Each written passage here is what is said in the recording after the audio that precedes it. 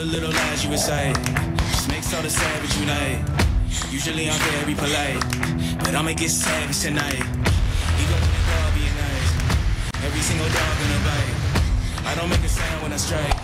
You better just run for your life.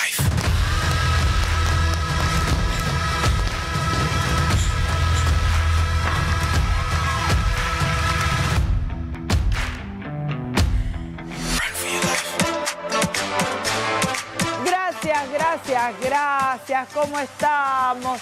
Ya estamos acá, ya está nuestro chef, nuestro invitado ya llegó, está la casa ordenada, está el Juan en la grúa, el Juli en la cámara, tenemos al Gaby Gol ya en la musicalización, Ale Vaca, nuestro director de cámara. Che, se suspende, le entrega el título, yo que quería ir eh, mañana para verlo los dos, a Vanessa Marilyn, eh, como tituladora y a nuestro querido Aldito y a la Eva que me ha un cafecito. Todo completito, Enito. Tenemos todo. Me estaba haciendo un chiste el Ontivero. Te juro que me estaba como el día, calentando, calentando. Digo, no, no me... Y aparece como si nada. Ay, este Raúl Ontivero, me va a hacer dar. Eh, pero yo te voy a decir cómo está la temperatura. Ay, ay, porque es lo primero que te tengo que decir. Y yo sé que me vas a decir, ay, Karina, pero está cosiendo un viento. Sí, está llegando el viento. El viento va a estar. Dicen que sería viento del sur, pero imagínate, para que, para que por lo menos en tibia todo este calor, ya a esta hora tenemos 26 grados. 26 grados tenemos en este momento. Se prevé que la máxima llegará a 40 grados con una sensación de 44. Así que vamos a arder, arde papi hoy, San Juan arde, arde. Así que estate muy atento con la hidratación, con el agua. Evita salir, si no- sobre todo las personas mayores. Si no tienen que salir, no salgan. Hidrátense, por favor, porque el hecho que no tengan sed no significa que no necesitan agua. Tomen agua. Ay, la Karina ya empezó. Que esto lo. Sí, yo sé que me van a odiar, porque al, hijo no le hacen caso, a la hija no le hacen caso. Bueno, alguien se los tiene que decir. Entonces yo se lo voy a recordar. Agua, hidratarse. Es que tengo que ir al baño. Y sí, tenés que ir a algún lado. No, no salí ni en los diarios, tenés que ir al baño. Bueno, vamos al santoral del día de hoy. ¿Qué tenemos para el día del calor? ¿A quién le vamos a pedir que por favor sea un día medianamente más liviano? A vos, Santito. Santo, santo. Hoy es el día, gracias a Dios, cortito el apellido, no lo quiero decir. Como el cuerpo del Juli, cortito. Hoy está para un surgente. Hoy está para un surgente. Juli, le metamos, hoy le metamos al surgente. Hoy vamos todos al surgente. Hoy es el día de San Ernesto. Ernesto. Tengo varios Ernestos. Un tío Ernesto Palacio sería uno. Ernesto Guardia, el de los puneños. Ernesto Vidal, un exjugador de Unión. Ernesto. ¿Qué otro Ernesto tenemos? ¿Hay alguno acá? Ernesto Salazar, es verdad, Ernesto Salazar de Neuquén, un profe de la hostia que tenemos allá en el sur y que nos mira todos los días. No sé si hoy porque estaba en Buenos Aires. Ernesto Salazar va para vos. Aldo Ernesto Busto. ¿Y ese quién es? ¿El Aldo? No, el Aldo no, el Aldo no porque es pelusa. Es pelusa. Los Ernestos yo hasta ahora los conozco con pelos, así que este no tiene pelo, así que este de Ernesto no tiene nada. Ernesto no sos Aldo. Aldo, Aldo Monje. ¿Te acordás de Aldo Monje? No sé, no sé, pero me acordé, lo asocié, lo asocié. Hoy es el día de la física médica, así que a todos los que son físicos en medicina, un saludo. No deben haber muchos, porque debe ser una carrera bastante pesada, bastante pesadita. Así que hoy es el día de esto. Hoy es el día del canillita, que ya poco se ve, porque todo es digital. Le sacaron el laburo al canillita. Yo, ¡puf! tiraba el diario, puto, rompía la ventana. Ah, pero leía las noticias, que importaba la rotura de ventana. Así que un saludo a los canillistas, sobre todo. Ah, sí.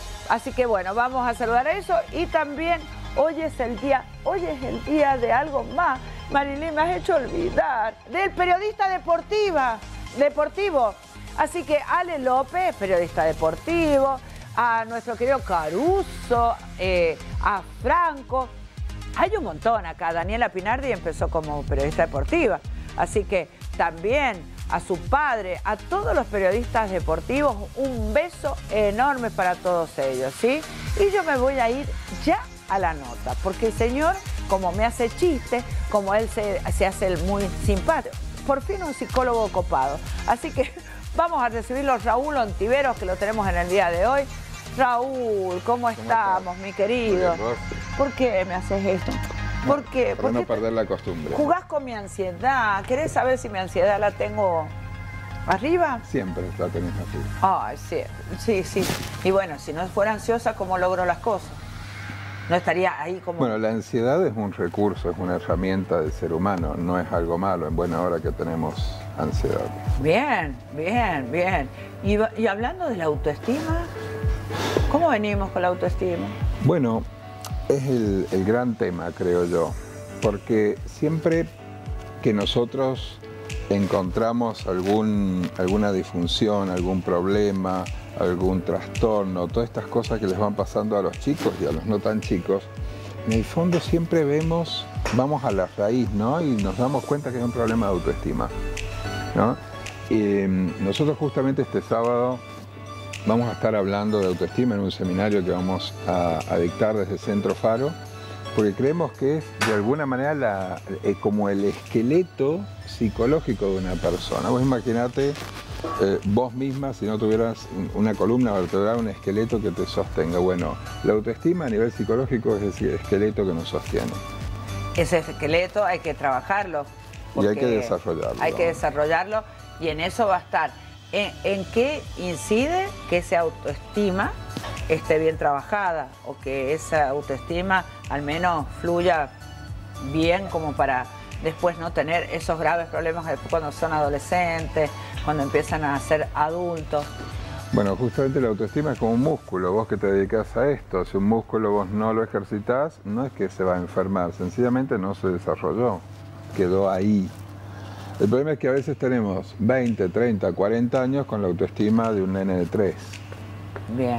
Entonces, la vida nos va exigiendo eh, situaciones problemáticas, conflictivas, de dilema, de angustias, y para eso se requiere una importante autoestima. Pero si no la hemos desarrollado, está desfasada. Por lo tanto, a veces reaccionamos de manera infantil a desafíos que son adultos. Imagínate cómo nos sale. Y esa autoestima se va a desarrollar básicamente desde el primer momento que existimos en función del amor que recibimos. Los cuidados, las presencias, los cariños, pero también con los límites. Y además ya cuando salimos de esta, vamos saliendo de esta casa paterna, materna, la autoestima se sigue desarrollando en función de nuestros logros. Pero eso no es a los 20 años, que también lo es, sino también desde chiquitos. ¿Qué quiere decir? Que cada vez que nosotros cuando somos muy chiquitos tenemos un problema y lo resolvemos, nuestra autoestima ¿qué hace? Tic, sube un poquito.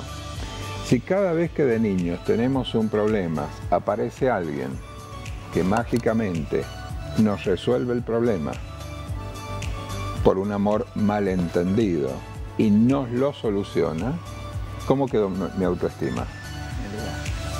Paralizada. Mientras tanto, nuestra vida sigue avanzando, mis problemas van apareciendo, pero esta persona que con todo el amor del mundo no solo me resuelve los problemas, sino hasta que me los evita y dos días antes ya me los resolvió y yo voy por la vida sin enterarme que existen los problemas, por lo tanto voy creciendo físicamente, capaz que hasta intelectualmente, pero mi capacidad de resolver problemas, mi autoestima, quedó estancada. Ahora te pregunto, porque yo estoy desarrollando, eh, uno del otro lado, la señora, el señor va a estar observando cómo fue su niñez, cómo, cómo fue el desarrollo, si hubieron límites. A mí me pusieron límites. Yo hacía lo que se me cantaba. sí, siempre has ¿Y esa también es una forma de la autoestima? No, el límite es una eh, cosa, la agresión es otra. Pero ponele, el, hecho de ser rebelde muchas veces ante los límites, como la, chico, La rebeldía forma parte del desarrollo psicológico del ser humano. Bien. De hecho, a veces tenemos cuarentones, cincuentones que te das cuenta que no tuvieron adolescencia, que no tuvieron ese despegue de papá y mamá, y a veces son ya grandecitos y peluditos y siguen siendo eh, mameros o, obedientes, eh, inclusive en detrimento de sus propios hijos o de su actual pareja. ¿Está bien? La rebeldía es parte de eso. Pasa que en, en pos de llamarle rebeldía a veces se nos mezclan ahí otros temas como es autoagresión, hacernos daño y jodernos la vida, básicamente. Pero la rebeldía tiene que ver con que ya necesito salir del, la, del mandato paterno-materno. ¿Está bien? La rebeldía forma parte de ese desarrollo. Ahora, esa a veces sobreprotección que tienen algunos padres, eh, interfiere un montón en el desarrollo de la autoestima. En eso de no permitirle tampoco poder eh, defenderse de algunas situaciones, resolver algunas situaciones, enfrentar algunas eh, situaciones. Vos fíjate como dos conductas tan extremas como son el abandonar a un hijo, como sobreprotegerlo, provocan exactamente lo mismo. Una autoestima estancada, paralizada, chiquita, empobrecida, decimos.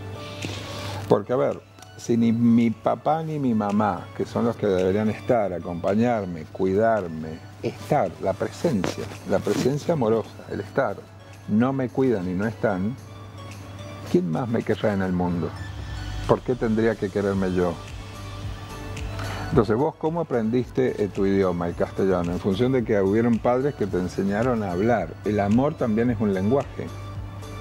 Y si yo no recibí amor, ¿cómo aprendo a amarme? Bien, y puede llegar a fallar en el caso de que alguno de los dos padres tenga ausencia ante un hijo y que el, padre que está presente le dé todo el amor y todo eso, pero esa falta de la otra presencia puede incidir en un problema. Desde, ya, desde ya que sí. Nos a mí me encantaría decirte, no, no te preocupes, no pasa nada. Sí, incide. Y es una herida de ausencia, ¿está bien? No, a ver, el trauma, que es la herida psicológica, no es solamente el daño que se le hace a alguien con un golpe o con un insulto, que lo es. El no estar también es una herida. ¿Qué significa? ¿Que esta persona quedó condenada para el resto del viaje? No, desde ya que en algún momento tendremos que hacer algo con eso que falta, ¿está bien? Eh, y para eso, bueno, ya sea terapia o como vas manejando tu vida pero algo habrá que hacer con este papá o con esta mamá o ambos que no estuvieron, ¿está bien? Pero nosotros en terapia muchas veces trabajamos esta ausencia y de, la cual se puede, a ver, trascender o madurarla o hacer algo con eso de tal manera que no te condene. Se puede, ah, ya uno, ya después de la adolescencia, como uno que ya va muy marcadito ya en qué lo que, las características que uno va a tener, ¿se puede reconstruir en ese camino? ¿Cuesta mucho más reconstruir la autoestima después de grande? Si bien va a costar más, pero no es imposible. No es imposible. Mira, em, eh, muchas veces nosotros nos preocupa cómo va a ir la autoestima de nuestros hijos, porque nuestros hijos nos saltan todas las fichas que nosotros dijimos no pasa nada, me la banco y sigo adelante.